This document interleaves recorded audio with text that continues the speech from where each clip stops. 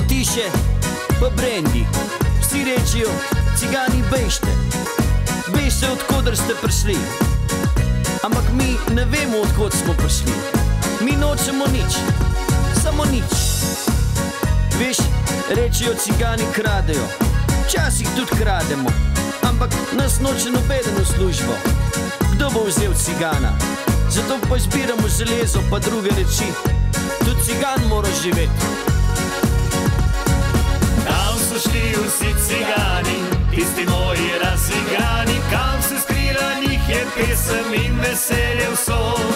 Kje je tisti svet drugačen, od vseh v stran potlačen, kam se skrilo danes je sveto. Tam so šli vsi cigani, tisti moji nasmejani, ki včasih od strani so naju gledali. Sva skupaj jim zapela, ko sva se lepo imela, kam se da vsi oni so odšli. Veš, ko rado, mi smo se tudi borili v vojsko. Res, da smo bolj metke pobirali, pa se zul smo koga, če se ni mogel sam. Ampak mi nismo imeli puško. Pol so pa spet rekli, cigani bežte.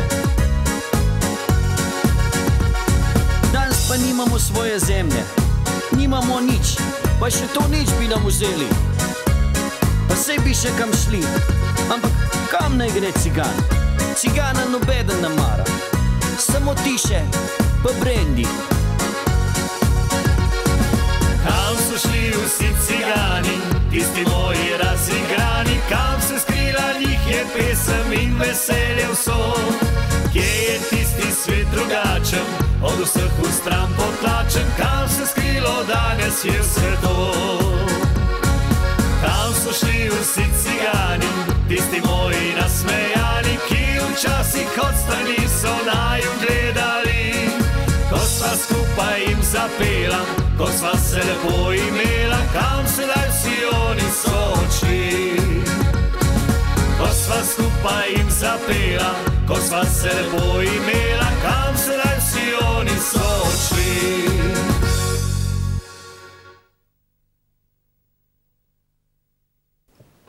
Spoštovane gledalke in dragi gledalci, lep pozdrav.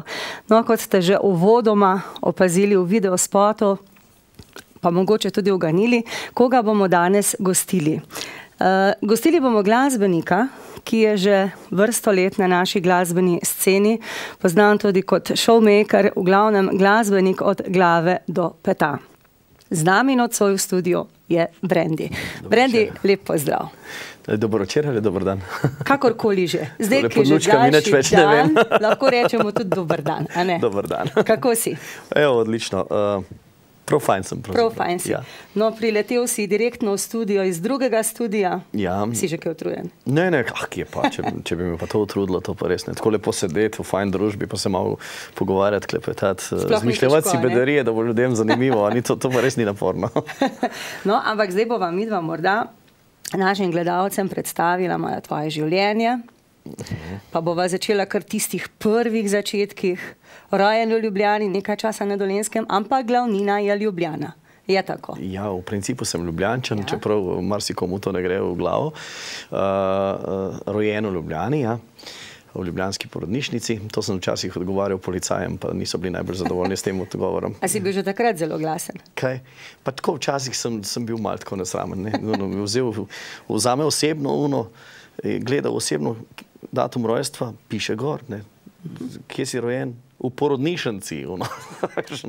Takrat sem bil smrkac, pa sem malo tako jemal te zadeve. Drugače pa, ja, hodil, v, uh, potem sem bil v Reji šest let na Dolenskem, uh -huh. potem sem znova nazaj prišel, se spomnim, so me dali v vrtec, to je bilo meni nekaj groznega, da moram biti v vrtcu iz, iz, iz tistih eh, prelepih travnikov v Šentjerneju, v Rojah, kjer Navajen sem živel. svobode? Navajen svobode, pa da moraš tročico vprašati, če, če greš lahko lulat, to je bilo meni nekaj groznega. Ne? Tako da sem bolj kot ne takrat mm, bežal iz vrca in mama me je pripeljala, jaz sem šel pa domov in sem 8 ur čakal njo, da je prišla iz službe tam okrog bloka, ne. sam da nisem bil v vrcu. No, obetali so se problemi z mano, kasneje jih pravzaprav niti ni bilo. Pol je bila osnovna šola, tako eno lušno obdobje, tam sem se dobro razumel. Bil sem četrti najmanjši v razredu. ne. A, tako, vsak, ki je imel pet minut časa, me je lahko udaril, dokler se nisem en dan odločil, da to pa več ne bo dobro. ne. In si se postavil po konci. Ja, in gledal sem po telovadbi, kjer po vrsti sem, sem bil četrti in sem si izbral najmanjšega. Ne, in potem, ko je bilo konc telovadbe, sem prišel k njemu, sem mu nekaj zatežil. Pa ne vem, kaj je on meni odgovoril in jaz sem kar mahnil. Ne. To je bil šok za razred takrat. Ono, Kaj pa zdaj njemu, ne? ker prej je bil vedno mevžek, pa tak ne. no. Potem si sem- mačo. Potem sem prišel po vrsti lepo do največjega, ne. Eh, To je bil Dragan Trivičev, ki je bil pa za glavo višji od mene. Z njim smo pa že zorganizirali ta prav pretep in smo se tepla enkrat po šoli. To je bilo ono, eh, da je cela šola prišla gledati, kako se mi dva tepeta. Jaz mečken suh žilov, on pa visok, pa tak velik. No, on je kasneje nastopil v ansamblu Agropop kot eh, bobnar, jaz sem bil kitarist. sodelovala? Ja, in preko tega smo pol naenkrat postala prijatelja, kljub temu, da sta se zblazno sovražila in uh, eh, skupaj začela, bom rekel, s to glasbo. Ure in ure smo prevadili v njihovih, poslov, v njihovih prostorih. Ne.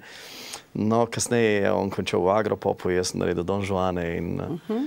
tako da je bilo to. No, pa če se malo povrnemo še nazaj pred uh, uspešen Don Juan, ker to je bil res ansambl, uh, ki je dal, bom rekla, eno piko na i slovenski glasbeni sceni.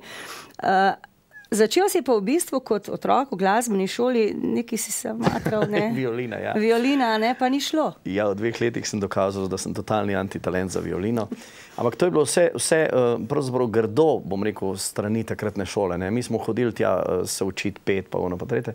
No in potem so, mm, jaz sem si želel kitaro ali pa harmoniko. Ne. Ampak ker je bilo teh, eh, bom rekel, preveč za kitaro pa za harmoniko, ne, so oni v bistvu reklamirali instrumente, so, za katere so imeli pravzaprav šli, ne. deficit, ne, tist, da niso šli. Ne. No in pa so prišli to reklamirati v, v razred ko, in koliko bi bil ti dober violinist, koliko bi ti fajn violino igral, ono tretjene. No, na kar tazga mulčka, ne vem, šest let, pet let starega, se ne vem, koliko sem bil ali pa še kakšen let več. Ni težko bilo pregovoriti uh, v, v to zadevo. Ne. Ampak od prvega dne naprej sem jaz violino sovražil, sploh pa v mojih rokah, jaz sem znal doživljati glavobolje, ne vem kaj. No, in po dveh letih sem enostavno obupal, sem mislil, da ubijam samega sebe.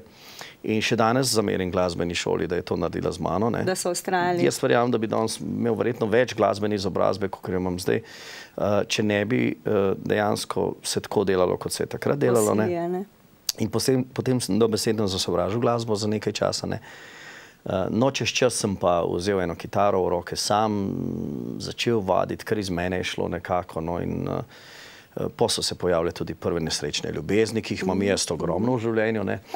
Uh, no, in jasno, preko tega tudi prve pesmice. Ja, no, ampak uh, že v mladih letih, že pri tistih 12, baje, si napisal prvo pesem.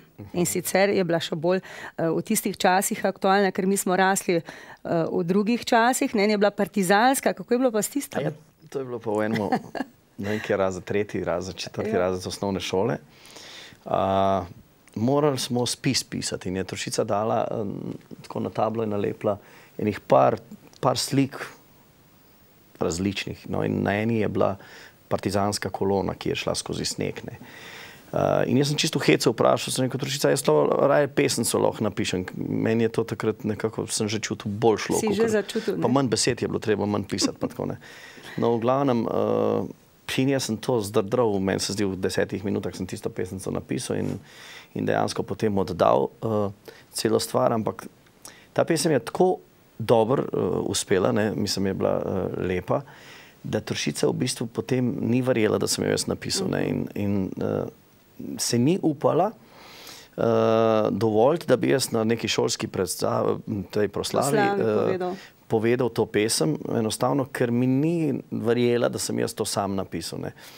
Jaz se ne spomnim, kakšna je bila to pesem, v, v glavnem pač o partizanih. Ne. Uh, no, uh, Ampak meni je bilo vse, jaz sem dobil dobro oceno, takrat pa, pa ni mi bilo treba veliko pisati. Ne. Mhm. Ne. Že takrat si pokazal več talentov, ampak nažalost so te kar nekako hoteli zatreti že na začetku. Najprej violina, potem teksti. Pa ja, ampak po tej mislim, je se, mi smo sploh sredina, ki, ki bom rekel, se mi zdi zelo hitro uh, rada m, nekako potepta uh, bilko, ki, ki, ki je Klije. komaj izklila iz ja. zemlje, ne, a se z tega ne bo nič. Ne, ampak uh, tudi drevo začne kot tako mičkeno. Ne, tako da, Sigurno. Uh, vedno je treba malo pustiti, kdo ve, kaj iz vsega tega Točno. lahko zraste. A si bil morda pri gasilcih tudi? Ne. A so ti pa všeč, verjetno, bili že kot otrok, ker so uniforme, cisterne. Normalno, da so vsakemu otroku zanimivi gasilci, sploh v Sloveniji, ki ima eno čudovito tradicijo tega gasilstva. Uh, moram reči, da jaz občudujem ta entuzijazem teh ljudi. Um, sploh preko teh gasilskih veselic uh, sem se spoznal z mnogimi. Um, To je nekaj tako, tako plemenitega in nekaj tako uh, lušnega, da mi je prav žal, da se mi zdi, da, da, da, da tudi do njih je včasih država mal, mal nesramna. bom rekel. Od njih se pričakuje, da bodo pomagali, da bodo vse zaston delali, da bo vse tako ne, po drugi strani pa, pa mislim. Uh, Se mi zdi, da Ne so znajo veliko krat oceniti tiste mačehovski. Ja, ne? ja, sploh pa ena, ena država, kot je Slovenija, ki ima to res eno tradicijo, mislim, da bi, da bi um, morala bolj podpirati to, ker to je ne na zadnje res ena taka, taka folklora, mogoče jaz ne vem, kako je drugot po svetu, ampak po moje zna biti celo edinstveno. Sigurno. Poglejmo si video spot, gasilci smo, to je tvoja skladba, ne? Don Žuani, stari dobri Tako. časi, Marjanca, Vinko Šimek. E, eh, super.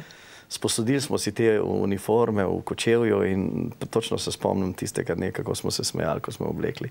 Ste bili lušni pa všeč sami sebi, Ja, prav. Tudi nam boste. Torej, gasilci smo.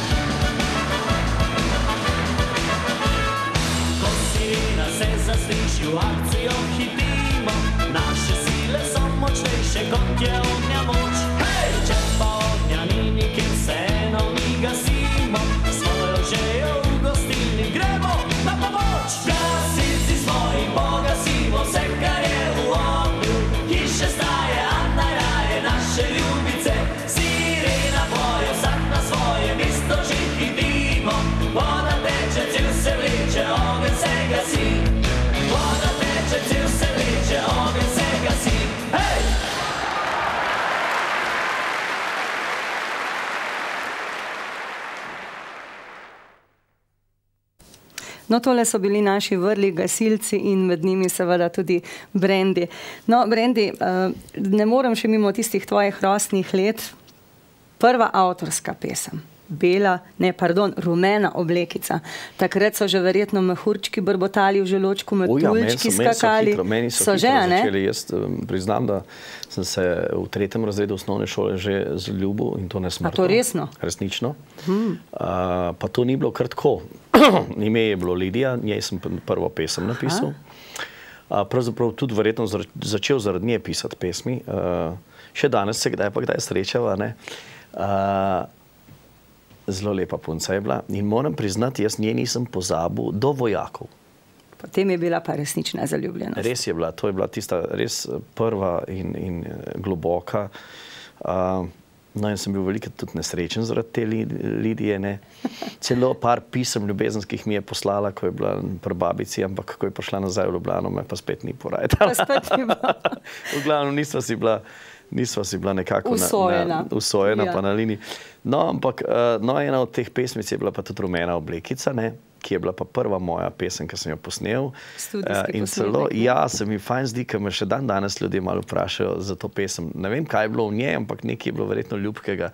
Tako da sem že nekajkrat obljubil ljudem, da enkrat jo bom pa spet posnel. Uh, v glavnem, to je bil en tak refren. Jaz še vedno mislim na te, jaz še pišem pesmi za te, jaz še vedno. Ja. Ljubim te. Uh, zelo romantična duša si, ne, Brendi? Ja, jaz sem zelo romantičen, zelo sem čustven, zelo sem senzibilen. Se jaz se znam tudi zjokati včasih, tudi kakšne pesmi so bile, ki so bile v joku narejene. Uh, uh, Veliko stvari me gane, včasih tudi kakšna zadeva iz časopisa, iz, vem, tam, iz novic, iz poročil. Tako, tako da sem v enem momentu ugotovil, da sem premehak, da bi temu sledil. Ne? In sem se začel izogibati, sploh po teh časih, ki so taki, kakršni so, Malo, ko je vse preveč teh, bom rekel, negativnih uh, stvari. Ne? In če hočemo v sebi uh, ohraniti ta pozitiven duh, optimizem in vse to, kar moram jaz z odra dol dati, nekako, bom rekel, vseeno, kar zatiskam oči pred nekimi stvarmi. Ker se mi zdi, da, da moja pravljica more živeti in kakorkoli se enim zdijo bedaste pesmice o nekih, nekih zaljubljenostih, o nekih bedarijah, ki jih jaz uh, pišem, se mi zdi, da da če je moj namen, da ljudi sproščam, uh, potem moram pisati o tem, ker brez problema uh, znam napisati pesmi, ki se ukvarjajo s kakšno družbeno tematiko, s problemi, z vojno. Z, ne vem, ne vem, ko sem pisal z Bogom, stari Arani, recimo, je bila ena od takih pesem, ki je sicer me, ena mojih najlepših, ampak. Uh mhm. -huh.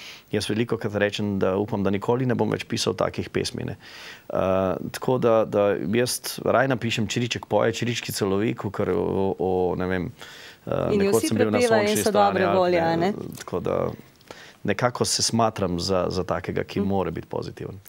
No, Brendi, nekoč si izjavil, nikoli nisem hotel biti solist, vedno rad z nekom delim energijo. In potem se je ustanovil prvi bend. Ja, to je res. Beli med, uh mhm. -huh. drži.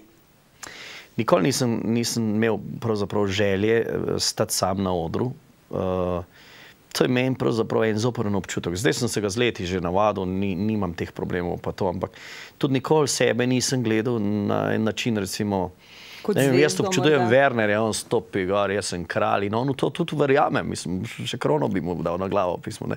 Uh, nekako jaz sem vedno bil tako mal, vi me naredite, za kar me imate, ne uh -huh. da mhm. se jaz sam naredim. Ne, malo celo prenisko samo podobo se mi zdi, da sem si ustvaril, kar je po eni strani slabo, po drugi strani pa spet dobro. Uh, uživam v tem, da ne rabim izigravati neko zvezdo, da ne rabim paziti, uh, ali bom zdaj tako oblečen ali bom drugače oblečen, uh mhm. -huh. da ne rabim, ne vem, da grem lahko v toplice in se lepo slečem, čisto kot vsak drug, da lahko pokažem svoj trebu, ki ni majhen.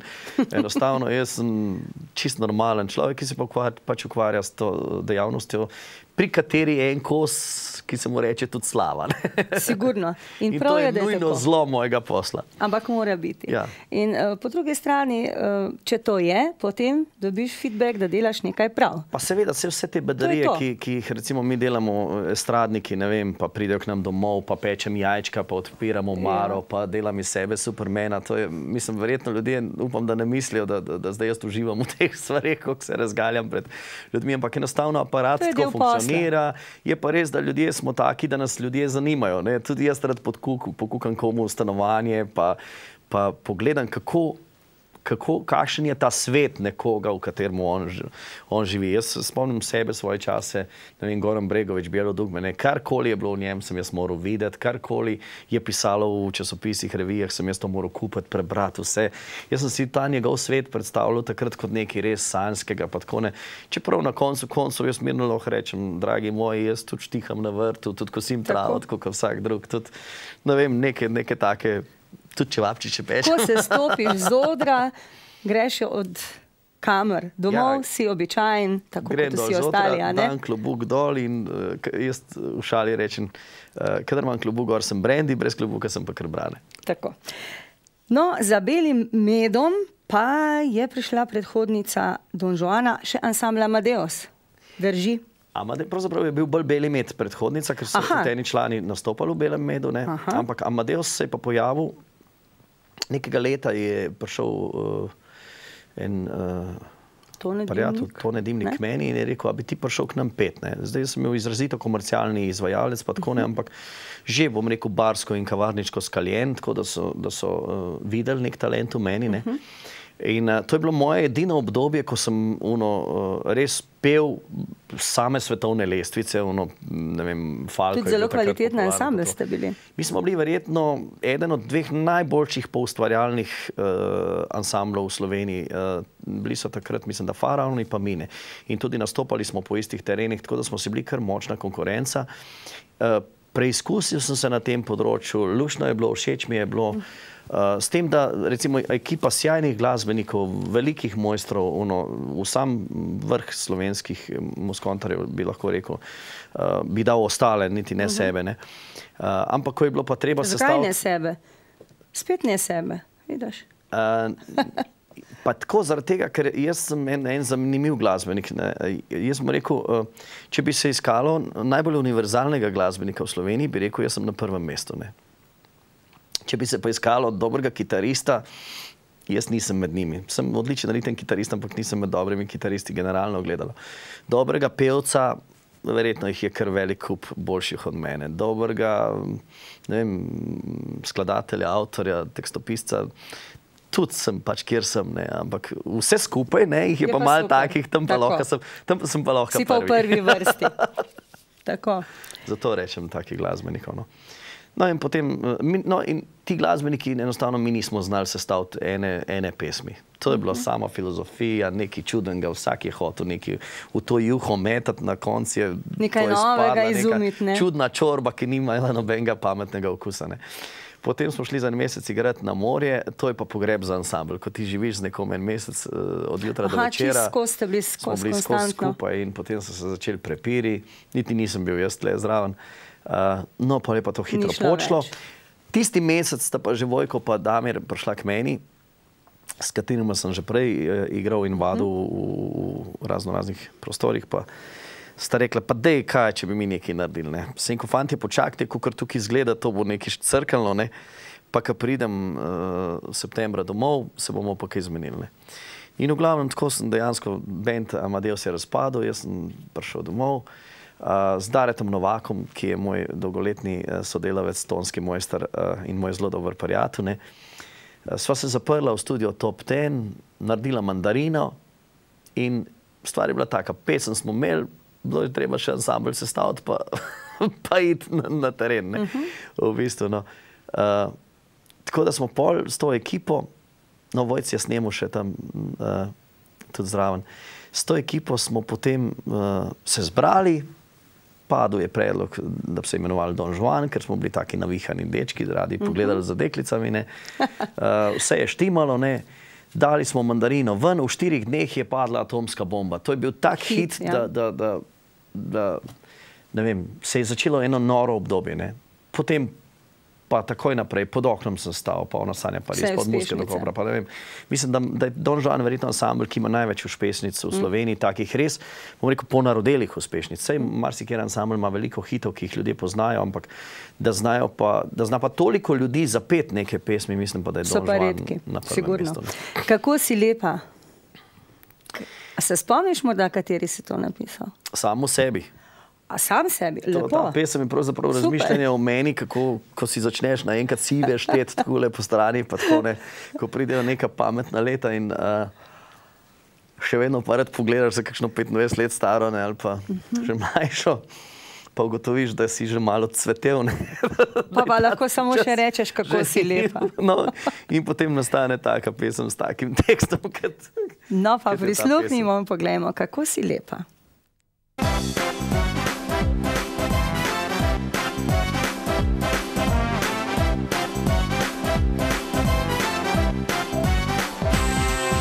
Jaz vem, da letnik moj me izdaja, da sem odsvetel.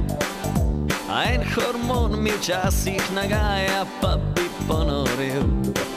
Prebiram knjige, take revije, da bi razumel, zakaj me prime vrže in zvije, ko rad bi te imel. Kako si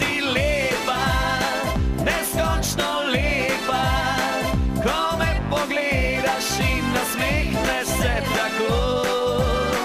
A jaz začutim, v sebi začutim, da sem zaljubljen in da spet mi je lepo.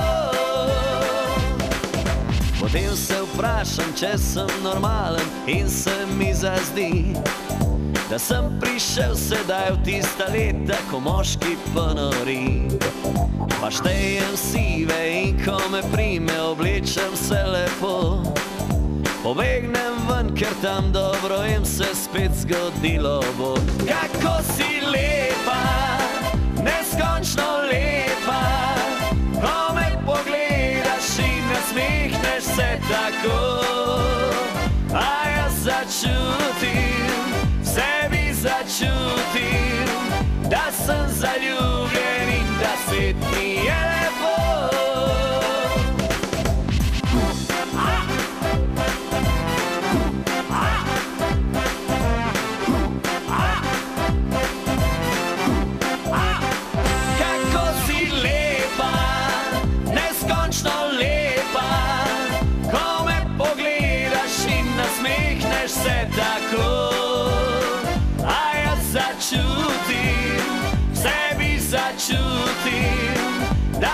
zaljubljen in da spet mi je lepo. Kako si lepa, neskončno lepa, ko me pogledaš in nasmehneš se tako. A jaz začutim, v sebi začutim, da sem zaljubljen in da spet mi je lepo.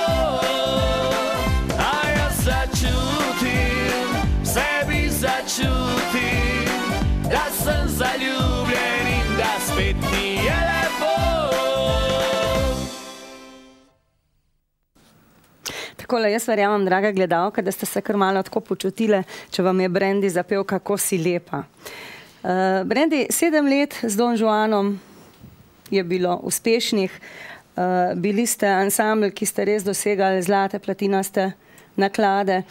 Uh, mislim pa, da je bilo še nekaj tudi. Uh, Nekako s to glasbo ste bili mednarodno zabavno in zabavno glasbo in ste imeli tudi nekaj problemov uh, glede vrtenja posnetkov, če se ne imeli- motim. a Ne? Mi smo imeli uh, vedno probleme. Pravzaprav je bilo uh, moteče tak ekstremen uspeh. V enem momentu smo res malo porušili uh, neke norme, namreč mi smo uspeli lokalno. Uh -huh. Mi smo lokalno uspeli, da smo potem v, v center prišli. Ne. Uh, dejansko to pa ni bilo v skladu rekel, razno raznih politik, bom rekel, teh glavnih, glavne medijske hiše in vsega tega, ne, ker so bili tudi ne sami interesi posameznih hiš, ampak interesi posameznikov taki in drugačni, ne, ker nekako se tudi ni, ni smelo uspeti mimo določenih, ki so pač tudi imeli kaj od tega. pa Tako, ne. uh, tako da, da, da nekako smo bili ansambl, ki je blazno težko prišel do, do, do potem televizijskih nastopov. Uh -huh. uh, ne vem, celo se je zgodilo, da, da je bila podelitev ploč, recimo pa, pa zlatih, pa teh priznanj, pa nismo mogli priti na kakšno zadevo ali pa. To se je kasneje tudi Korado tudi dogajalo isto, recimo, da je imel zlato ploščo, vsi so lahko dobili na televiziji to priznanje, njemu ga niso uh -huh. hoteli dati. Ne. Take neke čudne in jaz se pa tudi nisem hotel nik nikoli kaj podrejati uh, nekim zadevam, tako da sem vse čas igral nekega malega upornika. Ne. Vsake toliko časa sem našel kakšno luknjo, da sem kje zraven uh -huh. prišel, tako da smo bili prisotni. Ampak imeli smo pa tisto, kar je bilo najvažnejše. Imeli smo publiko, ki nam je sledila, ki je, ki je rada imela to glasbo. Uh, In na dolgi rok smo dejansko premagali vse sile. Uh, celo danes mi je v kompliment, ko ljudje, ki so tiste čase, bom rekel, imeli zelo negativen odnos do Don Juanov, rečejo, veš, ampak vi ste vseeno bili dober ansambl, mislim, ne tako. In šel meni in ne, vse, ne. Nekako in danes veliko krat rečem, da edini kritik, ki ga priznavam, je čas. Ta je pa pokazal, da smo bili dovolj dobri, da smo preživeli. In pa seveda publika, ki vas je oboževala. Seveda, to je pa. Še zdaj. Uh, no, uh, pišeš pa ne samo zase oziroma za bende takrat, ko so bili, ampak tudi za druge izvajalce glasbe. Zelo veliko, tudi za Heleno Blegne, Natalijo Vrboten, Natalijo Kolšek in tako naprej. Ja, zdaj bom dal to v pretekli čas. Res sem veliko pisal, bil sem strašno avtorsko ustvarjalen, kar ne vala za zadnjo obdobje. Nekako sem, sem, ne vem, kaj se je zgodilo z mano, eh, ne čutim tega v sebi, te potrebe, eh, več take kot nekoč. Ne. Sem pa res uh, napisal ogromno pesmi za razno razne izvajalce, uh, marsikatera pesem ljudje niti ne vejo, da, da, da je moja. Uh, evo Helena Blagne, nocoj objemi me in stisni k sebi me močno. No, tudi jaz nisem vedela, priznam. To je, to je verjetno njena najlepša pesem. ja. Vsaj nekako je najbolj obeležila to, tudi ona sama pravi. Uh, čeprav pri tej pesmi sem jaz bil malo jezen na njo. Ne? Uh, pravzaprav je bila to pesem o, o, o ženski, ki se je zaljubila v nekoga poleg svojega moža. Ne? In je bila pri ljubimcu ne? in, in, in ona opisuje, kako je njej lepo pri njem ne? in nocoj objemi me in stisni k sebi me močno, reci, da ljubiš me, srce verjelo ti ne bo, pa, pa, pa to, tako sem jaz tako naredil. Ne? Ampak potem no, se in to potem spremenilo. Helena, ki je, bom rekel, zelo samosvoja in muhasta, ne? kar, kar, kar za njo ni nič čudnega. Jaz poslušam pesem na radiju ne, in slišim nocoj objemi me in stisni k sebi me, močno prosim, zasnubi me. Jaz mislim, da me bo kap zadela. Ono. In ko sem si jaz predstavljal njo pri ljubimcu in prosim, zasnubi me, mi je bilo to malo to, ne? nekako čudno. Ne. Pol je bilo kar nekaj še takih dodanih noter, tako da, da tukaj je malo ona soavtor cele, cele zadeve. Ne. Pa še nekako moram reči, še danes mi ne gre, ko si predstavljam eh, Heleno, vso primadono, kako ona kleči pred tipom in reče: prosim, zasnubi me. No, verjetno je hotela sebe v lepi luči obdržati. A Ona je veš, ti celo v lepi luči, ljubimec, kol- pa to ne gre z njeno podobo. Ne? Tako A, mislim. Ali pa Morda, morda. Ali pa gre. Ali pa gre. Tudi to Ne, je ne, ne. No, na vsak način Ja. je Helena ena, ena carica, ki jo jaz občudujem. Tudi, uh, ona je res dosegla tisto, vse, kar se da doseči ne, in z veseljem še danes delam za njo. Na zadnji plošči ima tudi neki pesmi. Ne. Čeprav res, ko njej dam pesem, nikoli ne vem, kaj bo, kaj bo dejansko ostalo. Te lahko tistega, kar sem preseneti. jaz napisal. Ne. Ampak ona je res ena taka trmasta punca, ki ki je vse, vse, vse dosegla v življenju. Je, Vse je uspelo. Ravno strmo, ne? Pol je, ne vem, Natalija Verboten, Pa naj ptujskih angeli te včasih čuvajo, tudi, Naj ja. za, nad teboj bedijo. Ptujskih pet je sploh zgodba bila cela, bom rekel, bolj kot ne moja, vsaj tistih prvih. Veliko si za njih ustvarjal? Sanjam na svidenje, nocoj spet Vse uspešnice v bistvu. vse tiste glavne uspešnice, razen teh ta zadnjih. Heidi je bila recimo taka zelo zanimiv projekt. Ne, uh. -huh. uh, ne Majdarh, pošljimo veter pozdrav, to, to je tudi ena večna te uspešnice. pesem. Uh, ja. Očitno si ti uh, centriran, da pišeš uspešnice. Pa Očitno vem, ti je to dano. Je bilo, neko obdobje je bilo, zdaj, zdaj se je situacija zelo spremenila, ker pravzaprav niti ne veš več, kaj je uspešnica. Ker bom rekel, teh najbolj komercialnih pesmi, radijske postaje, bolj kot ne že ne vrtijo več. In trenutno smo v eni taki, bom rekel, zelo, zelo narejeni situaciji. Tudi če gledam uh, v svetu, recimo ta Eurovizijska popevka, ki je bila te dni recimo, na, na, na televiziji, jaz priznam, da to, kar sem jaz videl, da mene ni nič navdušilo in dejansko čisto mirno lahko rečem. Evo, danes sem eh, želel Vlašiču poslati uh, SMS s poročilom, da za moj okus je bila naša definitivno najboljša pesem Sigurno, tega festivala. sigurno. Uh, kakorkoli oni delajo trgovine med sabo. To so kuhinje. Prvo, prvič, evo, odkar Slovenija hodi na Eurovizijski festival, lahko rečem, da je to pesem, ki, ki na katero smo res lahko vsi ponosni in je enkratna, sicer ne vem, v čem poje, ker je zelo nerazumljivo zapet, ampak mi to ni važno, pesem je fantastična. Ne. Uh, Prav tako sem začutil, uh -huh. začutil v, v, v sebi. Ne. Drugače pa, evo, malo, malo me pravzaprav celo žalosti zadeva, da v zadnjem letu uh, ne zaznavam pesmi, za katero bi rekel, da je hit. Da je, rekel, te, da hit. Da bi rekel, to je to. Hit, bom rekel, nekih lahkih not. Ne. Imamo mm -hmm. nekaj pop izvajalcev, ne vem, Plestinjak, pa taki, recimo, ki delajo, bom rekel, vseeno drugo zvrst glasbe, kot mi zabavnjaki, čisto uh, tako ne. Ampak med nami zabavnjaki se nič ni zgodilo, ne. Uh, se je pa veliko dogajalo na področju narodno-zabavne glasbe. Mm -hmm. Tako da, da narodno-zabavna glasba ima trenutno več hitov v Sloveniji, v slovenskem prostoru, kot Kakor sama zabavna. Lahka zabavna, ki je pravzaprav ena, ena, ena zadeva, ki je res odrinjena ta moment zelo, zelo na stran. Ne. Narodna se še vrti ponekod, pa tako te zadeve. Ne. Ta lahka zabavna je pa res obsojena ne, na nekih radijskih pa televizijskih. Ja, zdaj je res porast uh, narodno-zabavnih ansamblov in tudi, uh, če dalje več mladih to posluša. Mogoče ravno zato, ker je en tak prazen prostor vmes, a veš, ko se ne najdejo ali kaj. Mislim, da je, da je duša ostala v tej glasbi, v moderni glasbi, ki ima težnjo biti evropska, ne vem kaj. Tam gre bolj za tehniko, bolj gre za neke nove pristope, ki pa nimajo emocije. Ne. Jaz sem nedavno nastopil v Mariborskem štuku eh, za študente, to se mi je prvič v življenju zgodilo, da so študenti povabili Brendija ne. in smo naredili večer teh mojih pesmi in jasno tudi ogromno je bilo Don Žuvanovih. Pa sem prav enega fanta vprašal, ki mi glih ni deloval, to je pa publika, ki je tvoja. Recimo, ne. pa sem rekel, pa zakaj so ti te pesmi všeč? Je rekel, ker so iskrene, ker jih čutim, ker, ker se najdem v njih. Uh -huh. Danes se res malo težko najdeš v kakšni, v kakšni pesmi. Uh, ne vem. Meni se ne spomnim, kdaj me je nekaj galno, da sem jaz res eno pesem vzel in jo vem, poslušal cel dan, vem, 150 krat. Ja, v ne. prejšnjih časih, bom rekla v preteklosti, se nam je to veliko krat dogajalo. Smo bili mi mlajši, smo poslušali radio, definitivno. Je pa še ena zadeva, res ne, ljudje malo ne verjamejo niti več v romantiko. Ne. Uh, če jaz, ne vem, če bi danes napisal rdečo rožo, utrgal bom zate in zavriskal bom tvoje ime in te pelal tja v planine. Bi te že kar malo pogledali. Nekdo, ki, ki dan živi s 500 evri in, in se ukvarja s tem, kako bo položnico plačal, bo rekel, kaj pa ta butl poje, kje pa je še to na svetu. Kje pa je še kakšna roža. no, ukraden trenutek pa je projekt, ja.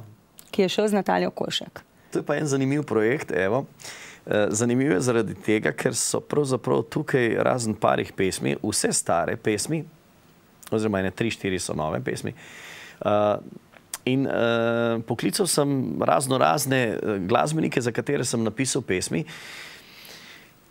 In to pesmi, za katere mi je bilo zelo žal, da sem jim dal. Ampak držim se nekako tega pravila, komor napišem pesmu, pesem, tistemu jo dam, pa magari je to mega pesem, mega hit, ne kakorkoli. Ne. No, in uh, dejansko sem potem poklical te glasbenike, od, odkupil svoje pesmi nazaj, ne, uh, potem sem jih pa podaril nekaj Nataliji, nekaj sem jih jaz zapel. Uh, uh -huh. Recimo Zate je nekdo, ki vse ima, so, so ansambl prepih iz, uh, iz Ptuja, uh, Pohorska roža je ansambl iz. Uh, Iz, um, iz uh, Ruš, čeprav pohorske rože ni na tem projektu. Ne. Pol, ne vem, uh, Reka je bila tudi napisana. Reka je bila recimo tekst napisan za Heleno Blagne, ki je hotela delati eno priredbo. Pa je bila tako žalostna, namreč poje o tem, kako je bila reka njena najboljša prijateljica in uh, je ta prijateljica fanta speljala. K, nje, k tej reki sta ona dva hodila ne, uh -huh. in mhm. potem je prijateljica speljala fanta in se, prav, se je ti potopil v tej reki. Ne, in, in, to, in Helena, vem, da je takrat rekla, rekla Brane, to je tako žalostna pesem, jaz sem pa tako vesela v tem momentu, jaz te pesmi ne morem pet. Ne. Potem sem jaz drugo melodijo naredil in dal to Nataliji Kolšek, ki je za me res ena taka otožna pevka in je ona posnela to in sem res zadovoljen uh, z njenim petjem. No, uh, nova avtorska pesem je pa Ukraden trenutek, ki je pa za mene res ena lepših romantičnih pesmi. Verjamem. Poglejmo.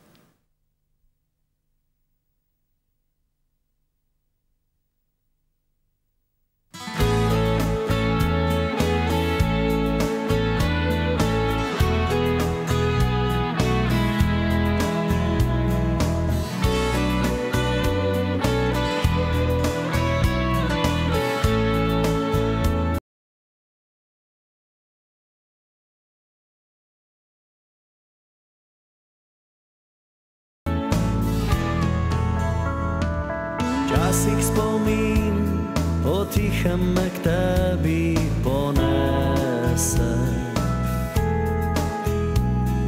Včasih vprašam se, kako je s teboj. In ali se ti, kot ja še kdaj spomniš na mene? je v tebi ostalo še kaj iste noči. Ukraden trenutek, imela sva le in sanje, ki trajajo še v večno zapisan spomin na tiste poljube. Ukraden trenutek, še tu čutim ga še, vse kar imela sva le, trenutku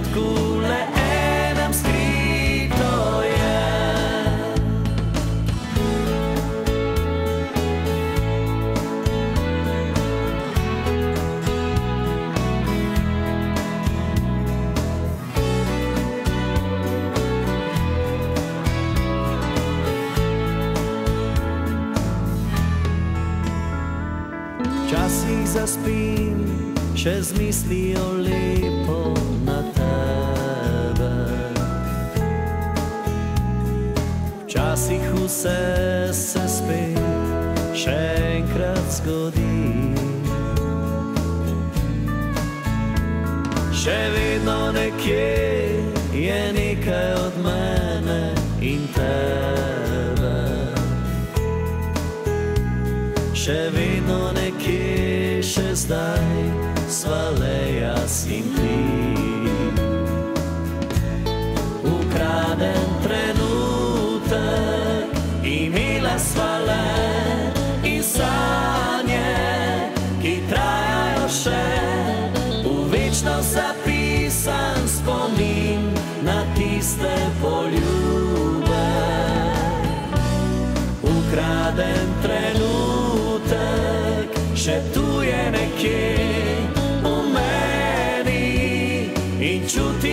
čutim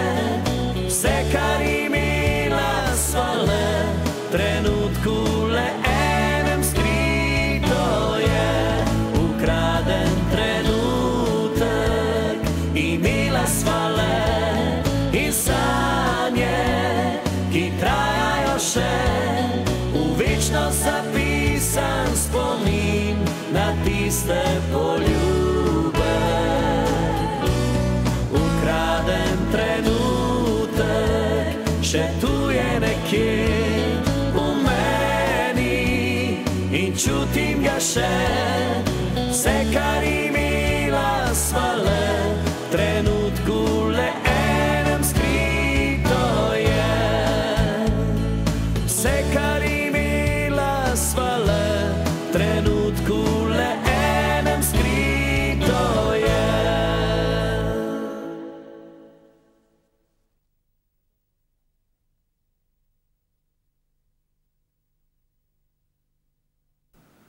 No, takole v videospotu smo videli zasanjanega Brendija, ampak Brendi, uh, malo več bi lahko bilo teh videospotov.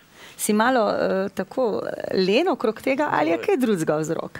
V tem videu spotu ste pravkar videli enega zelo bolanega brendija. Jaz namreč tisti tist dan imel nekaj 38 vročine, ampak to je bila ekipa, kar nekaj ljudi je prišlo tja snemati, nisem mogel reči, ne bom ne. Čeprav petih popovdne, ko smo nehali snemati, to sem jaz rekel, da ta spot prav gotovo ne bo šel ven, ker sem tak zamorjen pa tak. Ampak potem so bili pa komentarji, da glede na vsebino pesmi, ki opisuje nekoga, ki je nesrečno zaljubljen, ne, da moj obraz kar ustreza tej situaciji. Je bilo čisto redo, ne? Tudi to smo mi opazili. No, uh, to je bilo zanimivo tega videospota. Druga stvar pa je bila, da smo, ko smo zbirali m, punco za ta videospot, ne, smo poklicali eno agencijo ne, in oni so po internetu poslali nekaj teh fotografij. Ne. No, in jaz izberem eno, ki mi je izgledala taka ta prava, da bi se jaz malo z nos stiskal tam na tisti zedežni, pa tako ne. ne. Glavnem, zgledala je tudi dovolj Da stara. bi ukradel kakšen glavni, trenutek. Glavni podatek. Ne, v glavnem, no, tisti dan zjutraj pride na snemanje, uno, ena deklica, 19 let stara, mene je kap zadela, sem rekel, Madonca, sem rekel, koliko si stara, prav 19 let, sem rekel, pa tam zgledaš 25-27 let stara, ne, lih moj letnik, ne. Je rekla, ne, tako sem stara, ne. Se, ko kamo zdaj naredili pismo, zdaj mi jaz izpadel zelo tako Bo čudno. treba če sem scenarij spremeniti. 19-letnici stiskal tam na sedežni, ne, pa boh ve, kaj počel z njo, ne. Nič pa smo si pa zamislili, da bo ona samo nekdo iz sanj. In dejansko je tako lepa, da je lahko sam iz sanj. Saj za, saj za tazga starega, ki sem jaz, ne. V glavnem, no, vseeno ta spot je narejen. Jaz še vedno vidim bistvo videospota v pesmi, tako da... Uh, Uspel je. Pa ne vem, upam, da, dejstvo. je, no, da, da, da ga bodo ljudje radi pogledali. Drugače pa eh, posnet video spot je meni nekaj najhujšega v življenju. In, in moja velika žalost je, ko so se video spoti pojavili. Ne. Pa ne samo zaradi tega, ker jih jaz ne maram snemati, ampak tudi zaradi ene druge zadeve. Namreč, uh, predstavljaj si, da, da, da prebereš knjigo vem, in potem po tej knjigi gledaš film. Ne. Če gledaš film po knjigi, ti je nekdo drug določil, kakšen je glavni igralec, kje se to dogaja, kaj vse se tam se točno vidi, kaj je. Nekdo ti je v možgane dal vse tisto, kar si je nekdo zamislil. Ne. Ampak što s umetnosti je, da ti pravzaprav košček sebe daš v celo zadevo. Ne. In ko bereš knjigo, si ti narediš svojega glavnega igralca, svojo glavno Svojo igralko, svojo narediš. sliko si ustvariš in je to doživljanje knjige eno popolno doživljanje. Ne. Film pa določi točno. Ne? In ko jaz pojem o neki deklici, recimo v tem videospotu, jaz določim, kje je ona. Ne? Nekdo, ki ne vem, posluša to pesem, ima pa svojo v mislih. Ampak zdaj, ko sem jo jaz pokazal na videospotu, kje je to, una njegova odpade. Ni več v redu, ne? Ni več v ja, redu, ni ne. več v redu. Uh, in tako da, er, No, prav- Zanimivo Prav razmišljanje. zanimiv primer je pesem, ima neka tajna veza od Belo Dugmene. Uh, recimo, mi smo si vse, vsi to pesem predstavljali kot zaljubljeno pesem, ono, pesem o ljubezni. pa to ne. Na koncu pa Bregovič reče, da ja, to je pesem o zaporniku, pa o tismu, ki ga čuva, ki pravzaprav oba preživita velik del življenja v zaporu. Ne. No, Recimo, ja. ne, kako človek lahko Različno drugače dojame, dojame, če ima svoj manevrski prostor, da sebe ukomponira noter. In najlepše doživljanje, bom rekel, umetnosti nasploh je, ko ti sebe daš noter, ko se ti zraven jočeš, smeješ, doživljaš, čutiš in vse te stvari. Ne. In video spoti se mi zdi, so to, ta segment glasbe pokvarili. Ne. Ne. Tudi na, na teh festivalih, recimo konkretno spet Eurovizija, mene, mene osebno pravzaprav zmotijo. Naenkrat so pomembnejše postale lučke, efekti, dimi, vse neki se žgejo okrog njih, ono tretje, ne, da je izvajalec pravzaprav samo neke dve, tri, štiri pike so tam noter, ki, ki pač nekaj Ni delajo. da več v neki- ospredju in ne podaja več glasbe. Nekaj ne? se sliši. Ne? Dejansko na račun tega šova, tega cirkusa je sama glasba mm, zgubila. To je zdaj bilo rečeno vse v zagovor, zakaj jaz nimam več videl V spomina. redu, ampak zanimivo razmišljanje in uh, po svoje ti dam pa kar prav. Ja, Ne vem. ja Vsak ima, vsak ima svojo. tako. Uh, Brendi, pišeš tudi za otroke, oziroma si pisal, bova rekla, bolj v preteklosti ali še zdaj pišeš tudi To je kaj? bilo še iz časa, ko sem tudi delal otroke. Zelo Aha. rad. Zdaj me bolj neuspeli poskusi zanimajo. Pravzaprav je bil problem v tem, da, da sem jaz imel otroke, nisem jim znal pa pesem uh, pet. Iz preprostega razloga, ker v vrtec nisem hotel hoditi, pa se jih nisem naučil. Ne. Potem sem se pa vzel v roke in sam napisal ogromno otroških to Začelo se je z uspešnice. Naškuža, Ja. ki je verjetno res ena največjih uspešnic otroških. Ne. Pa potem še veliko drugih petelinček, Kirika, Čakaj Miška, ne vem, cel kup takih razno raznih. Za tiste najmanjše, pa tiste malo večje, zakaj me mama ne pusti. pa to. Heidi je bil velik projekt, Moni je bil velik projekt, ena najlepših pesmic moje pravljice, ko so se pravzaprav pomešale črke v pravljice in zdaj, zdaj so naredili sestanek eh, vse tiste živali in trnulčica in sneguljčica in vse to. Ne. Kako rešiti In- in je- zadevo. Ja, in recimo tam se je volk uh, jezil, zakaj mora biti on vedno, vedno grd, pa tak. Uh, ne, in, in vedno neka negativna vloga. Ne. Se volk zna biti tudi v redu, ne žival. Pa prijazen, Ja. No, v glavnem, to je bila ena res, mm, takih res dobrih idej. No. Včasih mi kakšna pesem vrata, ki je res uh, tako. Uh, Si rečem, pa kje si pa to najdel, recimo. ali pa recimo, kje si našla tega kretena. To je ena najbolj genialnih mojih pesmi, ki je res tako izvirna, da, da težko najdeš kaj podobnega. Uh, In kako uh, si dobil istočnico? Pa to ni bilo težko. Ne? Ni bilo Eh, Jaz, če težko. tako uh, vidim, ne, mi, fantje, ali Ja. moški, zdaj že lahko rečem. Ne? Če vam je kakšna ženska A veš, uno, všeč, sediš ne? na kavici, pa gledaš Ja. tam, ono, pa gre lušna, visoke, dolge noge, lepa, vsega dovolj. Ne. Ne, in jasno, komentar je le, kako je lušna, ampak kje si je tega kretena najdla. Jasno, mi smo vedno najboljši unke, pa z njo je pa tako. malo, Za odstrel, za odstraniti? No, in to je samo ena fraza iz življenja, ki definitivno drži. Je pa res ena stvar, ki se mi zdi zelo zanimiva. Da še nisem doživel, da bi mi to punc reklo, to si pa zihar meni napisal. No, ja. Bom kar brez komentarja. Ampak, če smo že pri tem, pri tej skladbi, ki si našla tega kretena, si jo pa še poglejmo, a pa seveda tudi prisluhnimo. Predvsem besedilu.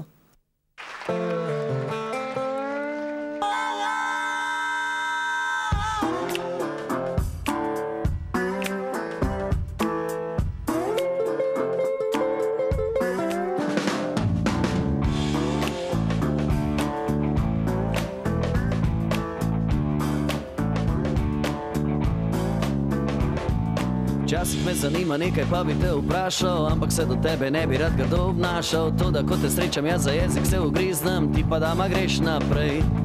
Včasih nas skrivajo daleč, jaz te opazujem, kot v filmu se počutim, pa te zalezujem. Ti kraljica lepotica, kot bi te narisal, a ob tebi živ obuk. Pa kje si našla tega kretena, to me muči, to me razjeda, podaleč opazujem te.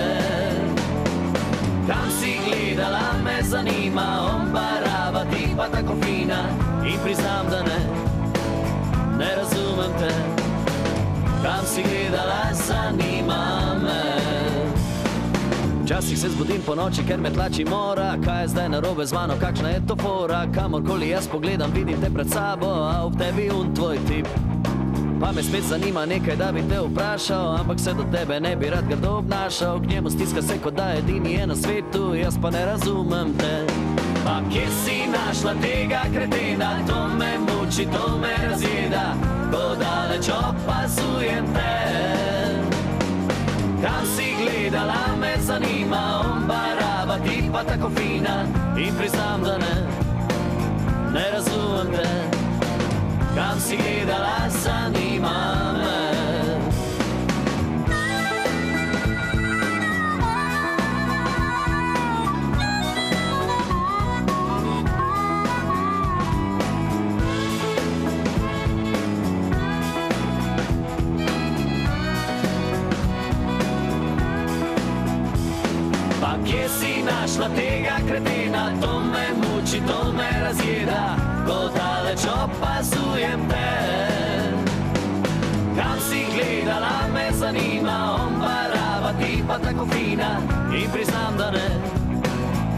razumem te.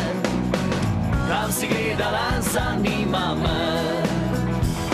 Pa kje si našla tega kretena, to me muči, to me razjeda, ko daleč opazujem te. Kam si gledala, me zanima, on barava, ti pa tako fina in priznam, da ne, ne razumem te. Kam si gledala, zanima me. No, takole, kje si našla tega kretena, dekleta, upam, da ste poslušala uh, tekst, ampak to ne smete tudi slučajno ne reči to pričo ali pa poslušati tega video spota o pričo moža, prijatelja ali fanta, da ne bo kaj narobe, prav Brendi.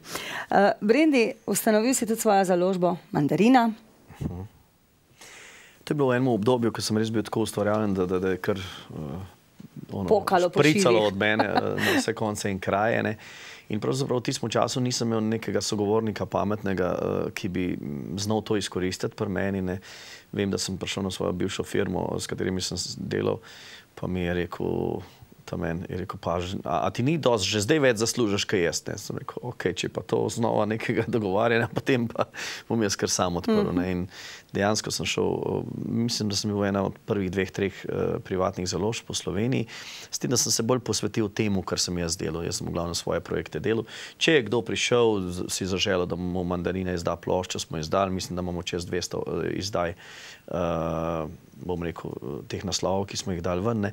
Ampak priznam, da me, me samo založništvo nikoli ni zares zanimalo, uh -huh. uh, v smislu nekega založništva, tako, tako res, ampak sem to bolj delal kot zraven. Pravzaprav Lahko rečem, jaz to vse stvari v življenju delam tako kot neki zraven, čeprav česar se lotim, delam zelo, zelo resno in zelo Odgovorno pa z veseljem. Uh, drugače pa sem en tistih, ki, ki to frazo sem večkrat slišal, pa mi je všeč, ne, uh, ki za denar dela tisto, kar bi delal tudi za ston. Uh, ne morem pa kar mimo tvojega sodelovanja s Koradom. Seveda, tako rado je. Uh, za pa- veselje in za hec je Za vajen slogan. Veselje je najen slogan in tudi uh, ime najnega ansambla, s katerim nastopava po celi Sloveniji. Jaz bi to res priliko rad izkoristil, uh -huh. da marsikdo ne ve, da pravzaprav mi dva imava ansambl, da nastopava po veselicah, po teh razno raznih prireditvah, ampak uh, dejansko veliko krat uh, angažirajo tudi ansambl ne, in naraje igrava v živo. Ne. To je nekaj najlepšega. Ne. Um, No, za hec in veselje se imenujemo. V tem ansamblu igra tudi moj sin, ki je tudi glasbenik. Ne? Evo, končno imam enega dobrega bobnarja in končno se vidi, da kri ni voda.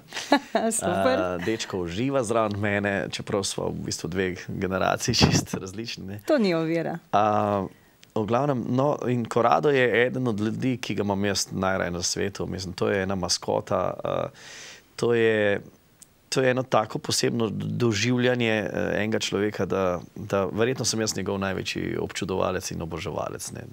Uh, on je enostavno rojena zvezda.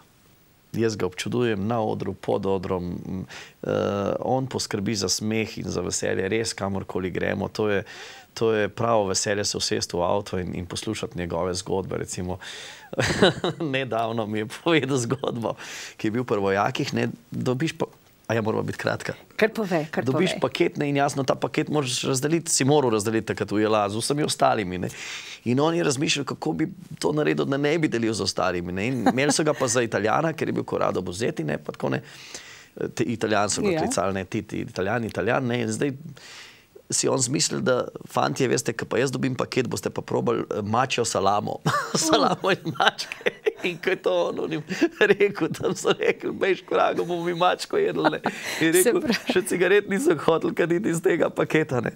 Mu je uspelo. Ampak ja, uspelo. Na lep dobro, ne. način. Mislim, Jih je odgnal. Ja, vi italijani mačke jeste. On je neverjetno inteligenten človek in načitan in res prav občudujem ga. No. Krasno. Se pravi, veliko potujeta, veliko igrata. Ja. Uh, kdaj pa je potem skladba nastala, kot smo rekli, so padale že ne toliko v preteklosti, verjetno. Ja, ja, je kar, kar A je že v stara ta, preteklosti? ta skladba, uh, ena čudovita taka autobiografska pesmica ne, o Avtobiografska? starih Aha, dobrih časih, dobro. študentskih let. Pa poslu, poslušajmo in poglejmo avtobiografsko skladbo. Kot smo rekli, so padale. Rečo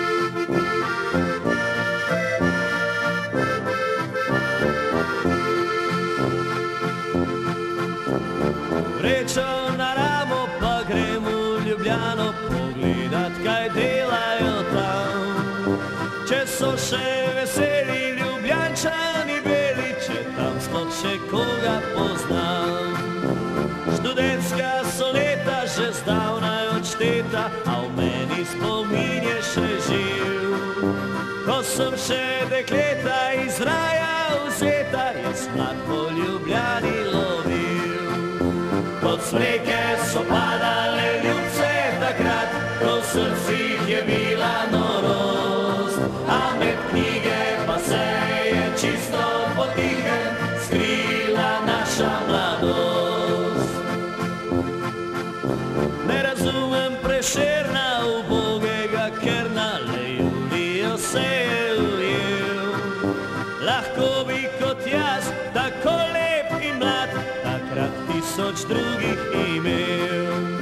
Res nisem izbiral, se s fanti prepiral, katera čigava je bila. Če bila je ta prava, je prej ali slej pri meni na vrsto prišla. Od smreke so padale ljubce takrat, ko srcih je bila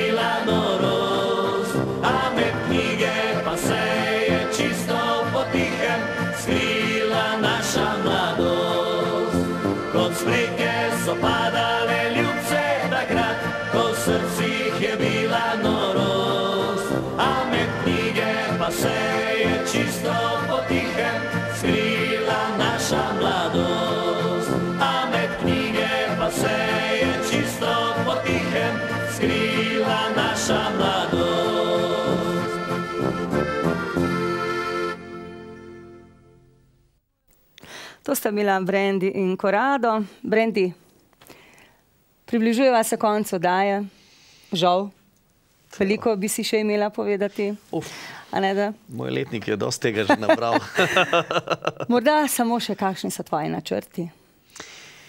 Pa ne vem, evo, jaz eh, sem že prej rekel, sledim samemu sebi. Mm, Trenutno nekih načrtov nimam, veliko ciljev sem uresničil v življenju. Eh, V šali rečem že, da sem v penziji, eh, kar jasno ni res. Ne.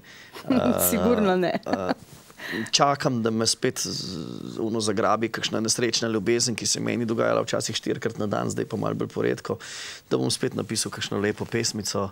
Uh, na vsak način bi rad uh, za Korado to naredil nekaj novih uh, bom rekel, bedastih pesmic, ne? ker mi dva mava imič, ta humorističen in to in zato moram najti neko tematiko. Ne? Do zdaj nam je uspevalo, ne vem, cigani, pa čevapčiči, pa pa je šel tovariš Tito, vedno je bila neka tematika, ki je bila pravzaprav v ozadju tudi mal resna, sam če je kdo hotel to videti. Uh -huh. uh, tako da želim si, dejansko želim si, da, da bi me spet zagrabilo to pisanje pesmi, potem bom pa jasno delal to še dokler bom imel energijo in moč in voljo. Krasno. In, uh, kaj novega, pa verjetno jaz ne bom več pokazal, prihajajo nove generacije. Ki... Vsekakor. Naslednika že imaš, kot si omenil, dobrega glasbenika, sina, tako da mu boš lahko pa njemu pomagal. Sin se ukvarja z glasbo, igra pri meni, hčerka je bila zdaj na talentih, je v, v skupini Šidiva, tudi ona uh, je zelo, uh, v bistvu, ona bi pa rada bila pevka, strašno dela na tem, tudi v studiu se znajde, uh -huh. sama snima svoje pesmi. Tako da smo nekako glasbena uh, družina, pri nas ne mine dan, da, te, da kaj ne razbija, ki je po hiši. Krasno in delati ne bo zmanjkalo. Pa to pa glede prav na gotovo. tvoje Jaz mislim, otroke. da je, da je eh, kljub samo veselja vse premalo v Sloveniji in da tam, kjer je veselje, prav gotovo spadata tudi Korado in Brendi. Super. In to bi nekako bilo lahko tudi sporočilo našim gledalcem. Veselje, ljubezen, Ja. iskrenost. Mislim, da vsak mora dodati košček dobre volje in bo v tej državi dosti lepše. Super. Hvala ti lepa za obisk. Hvala tebi. Lepo pozdravljam tudi Korada v imenu naših gledalcev eh, in seveda vse glasbenike, ki so tako s srcem glasbenik kot si ti. Hvala. Drage gledalke in gledalci, mi se od vas počasi poslavljamo. Dovolite, da vas še povabim 18. junija na 11. tradicionalno srečanje harmonikarjev iz osrednje Slovenije s pričetkom ob 16. uri pred gasilskim domom v Čečah.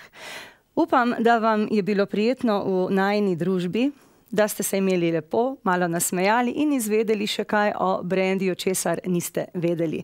Vidimo pa se zopet čez mesec dni. Bodite lepo in radi se imejte.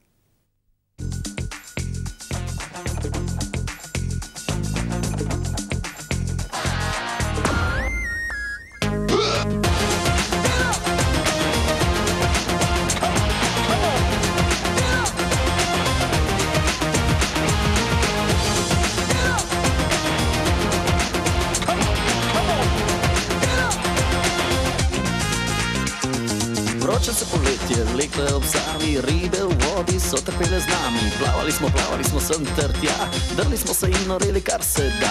Malo smo pili, malo se igrali, kar bilo je dobrega, vse smo premečkali. Pa se nam rodila nora je ideja prava. H, ha, gremo do pirana! Spaček suka noro, ruka vrhnika postojna, se piha in polka, kot bila bi vojna. Levo, desno, sem ter tja, mi norimo prehitijo čisto vsakega. Konec je veselja, nič več nismo sami, policaj nam blenda, pelje se za nami. Pa se vsi zaderemo, šusta plin, saj nam nič ne more, k vragu z njim. Nam pa nič ne more KGB, nam pa nič ne more CIA, nam pa nič ne more FBI. Gremo skupaj, aj, aj, aj, nam pa nič ne more KGB, nam pa nič ne more CIA, nam pa nič ne more FBI. Gremo skupaj, aj, aj, aj, stran od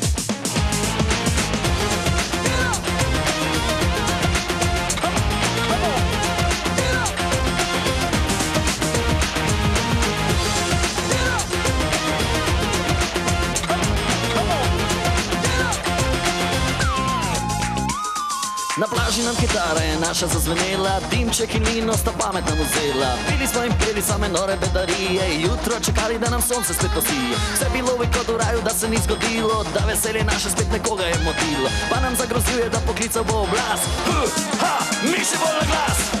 Prava se zabava je takrat pričela, ko daljavi res je modra lučka zažarela. Vse smo skrili in razbili pa nazaj v avto, da nas ne bi policaji dali v svojo kanto. Konec je veselja in spet nismo sami, policaj nam blenda, pelje se za nami. Pa se spet zaderemo, šusta plin, saj nam nič ne more, k vragu z njim.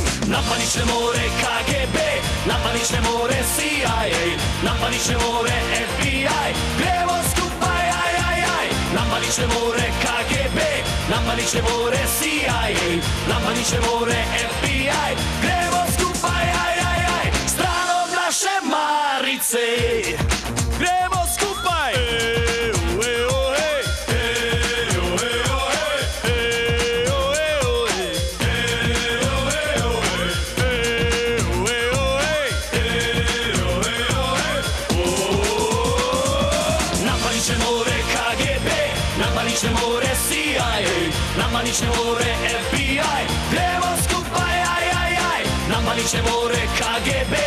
nama nič ne more CIA, nama nič ne more FBI. Gremo skupaj, aj, aj, aj, stran od naše marice.